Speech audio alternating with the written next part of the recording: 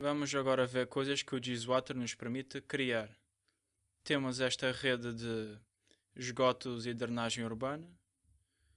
Temos já um modelo de uma chuva de comprido de retorno de 5 anos. Criamos aqui propositadamente uma tubulação com um diâmetro mais pequeno para que nos gere problemas. Vamos então mudar o diâmetro desta tubulação. Vamos até aqui. E aqui temos. Vamos editar. E mudamos.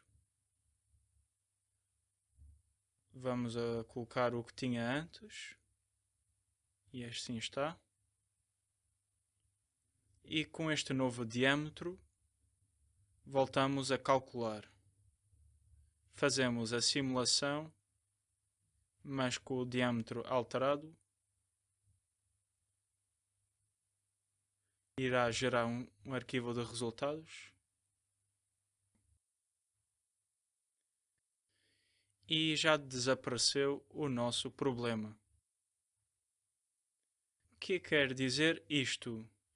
Com Gizwater podemos criar planos diretores dinâmicos onde podemos alterar quando se altera a cidade diâmetros, materiais, tendo assim um plano diretor dinâmico.